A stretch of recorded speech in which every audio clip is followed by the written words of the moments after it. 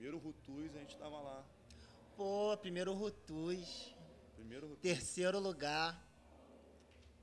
Eu, você, Rafael, Thiago. Tiagão. Show de bola. No segundo Rutus, a gente ficou.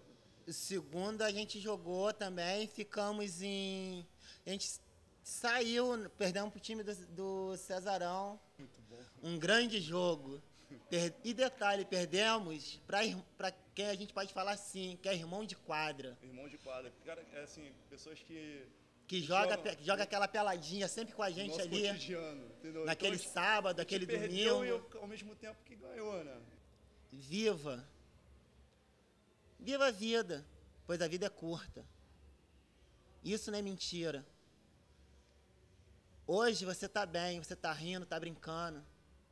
Amanhã, só Deus sabe o que, é que pode acontecer.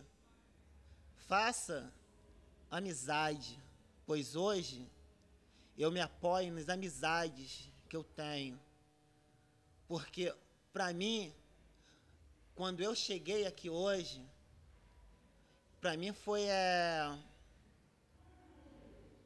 uma surpresa. Eu não achei que seria como foi. Vários irmãos, várias, vários irmãos de quadro que já jogaram comigo. Caraca, neguinho, tô cheio de saudade, tava onde? O que aconteceu, pô? Todo mundo. E detalhe, todo mundo sabia a minha situação. Ela espalhou como se fosse água descendo uma ladeira. Todos sabiam.